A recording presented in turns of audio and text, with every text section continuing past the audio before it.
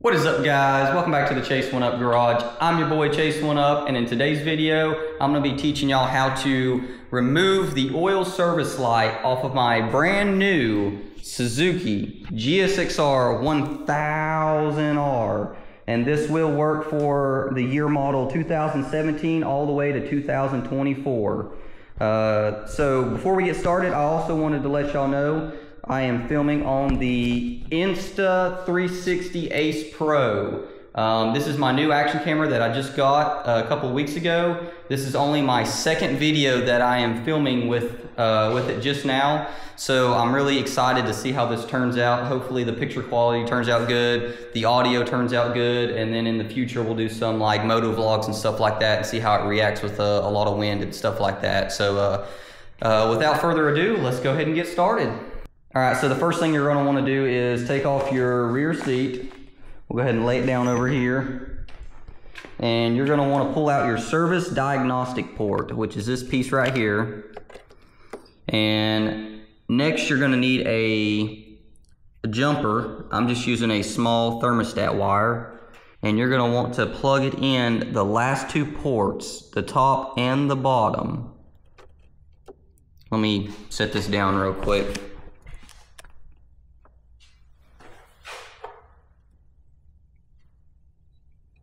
Make sure it's in there secure, that way it don't fall out and lose connection.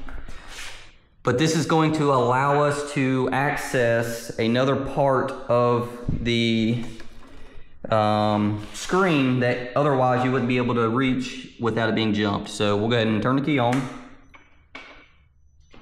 And immediately the service light pops up and then goes away. So let's go ahead and get into how we can reset that. First thing you're going to do is press up and that'll put you into the options screen for uh, to scroll through the different options. All right, once it pops up, the first thing you're going to want to do is make sure the date and time is correct or else this will not work. So we're going to hold down on the down button to go into it.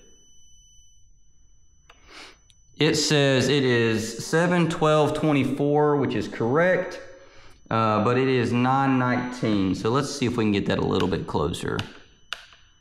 About a minute off. We'll accept it. 19. Click it to accept. Oh, whoops, hang on.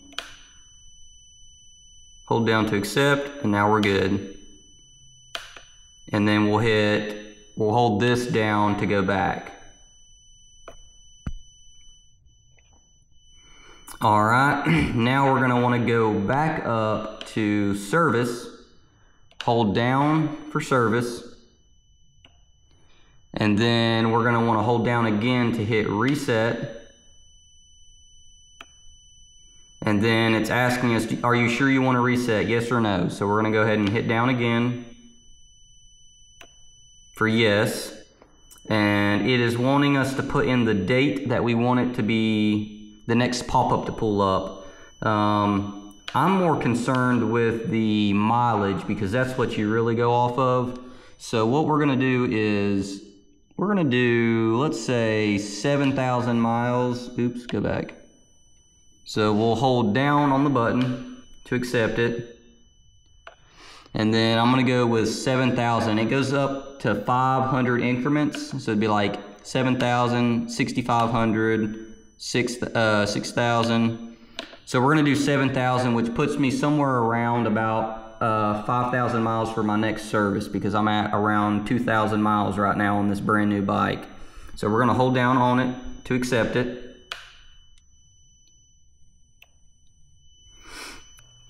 And we're somewhere right around 2,000 miles. Um, and I want to change the oil about every 5,000 miles. So that's going to put us around the 5,000 mile mark for the next oil change. So as soon as the bike hits 7,000 miles, it's going to indicate and tell me that I need to service my bike. So let's go ahead and set this. And we are done. Now we're going to go ahead and hit exit. And exit again. And now the wrench has went away up here. We'll go ahead and turn the bike off. Turn it back on. And there shouldn't be a service that pops up. Yep, we are all good. Let's go ahead and turn the machine off again. I'm gonna pull out this little safety pin. A little jumper.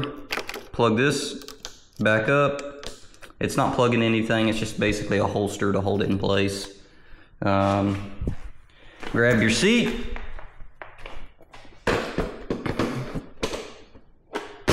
And you are all set. So uh, yeah, that's that's pretty much it to this project. Um, very simple, very quick.